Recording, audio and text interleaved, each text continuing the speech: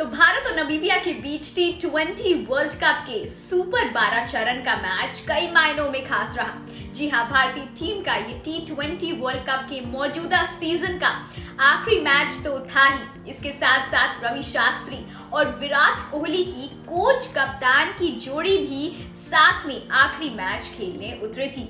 जी हाँ रवि शास्त्री के साथ साथ सपोर्ट स्टाफ के कई सदस्यों का कार्यकाल जहाँ खत्म हो गया था, वहीं विराट ने टी ट्वेंटी के कप्तान के तौर पर टीम इंडिया का आखिरी बार नेतृत्व किया।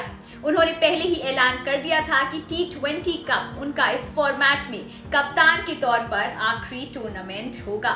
तो भले ही T twenty world cup 2021 Bharat के लिए अच्छा साबित नहीं हुआ और उसे सेमीफाइनल में खेलना तक नसीब नहीं हुआ, हालाँकि शास्त्री और कोहली की जोड़ी ने कई मुकाम हासिल किए हैं। दोनों ने करीब सात साल तक चली इस जोड़ी ने भारतीय क्रिकेट और फैंस को जश्न मनाने के कई मौके दिए हैं। तो आइए एक नज़र डालते हैं कप्तान विराट कोहली और कोच रवि शास्त्री के रिपोर्ट कार्ड पर।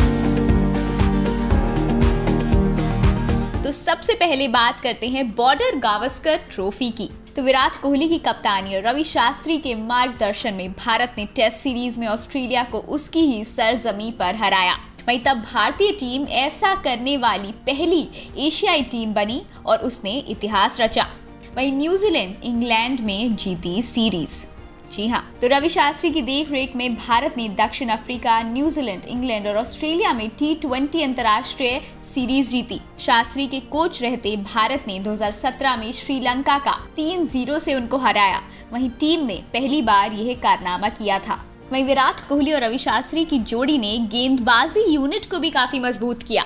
जी हाँ तो हमने देखा कि विराट कोहली और रवि शास्त्री के मार्गदर्शन में भारतीय गेंदबाजी का जो यूनिट है, वो काफ़ी मज़बूत रहा। तो इन दोनों के टेन्योर के दौरान गेंदबाजी यूनिट ने हर परिस्थिति में दुनिया की हर सर्वश्रेष्ठ टीम के खिलाफ काफ़ी अच्छा प्रदर्शन किया।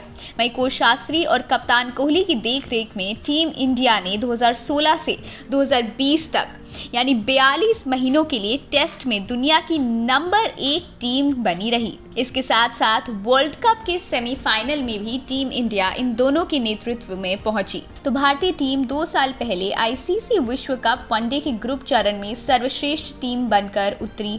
वहीं अंक तालिका में टॉप पर रह रही थी, लेकिन सेमीफाइनल में उसने न्यूजीलैंड के खिलाफ हार झेलनी पड़ी।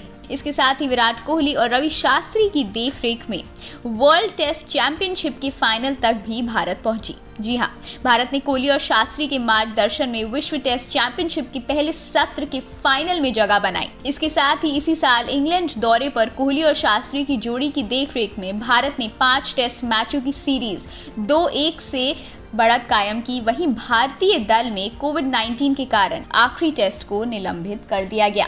तो ये था विराट कोहली और रवि शास्त्री का रिपोर्ट कार्ड। दोनों ने एक साथ करीबन सात साल तक टीम इंडिया का नेतृत्व किया है।